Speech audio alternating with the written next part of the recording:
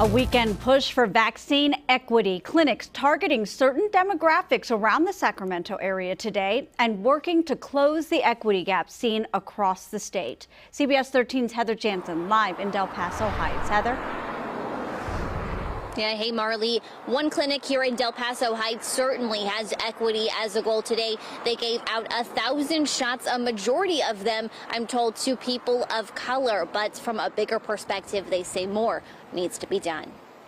Saturday shots in Del Paso Heights. Robert Ellis pulling up for his, this clinic meeting him closer to home.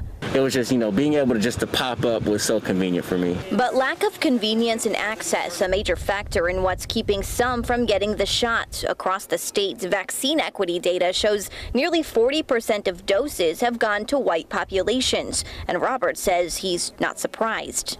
Resources are better and then at the same time, you know, once we get those resources, it's kind of like, you know, um, it kind of feels like a setup sometimes. Communities of color still trailing far behind. Despite more and more vaccines being given out, numbers are seemingly stagnant since the state began tracking. This Natomas clinic is filled with people trying to help the Latinx population, one hardest hit by COVID. Good, and so there's a lot of fear right now that we need to overcome. Grassroots efforts finding people in their own neighborhoods. Dr. Kawana Carter has been on the ground educating people for months, but says more needs needs to be done.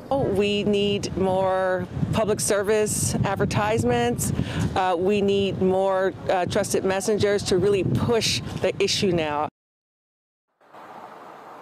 Well, here in Del Paso Heights, they don't let a shot go to waste at this clinic. They will literally chase someone down to take it. They're out here every single weekend. As for other vaccine clinics, the Mexican consulate in Natomas does host vaccinations every weekday.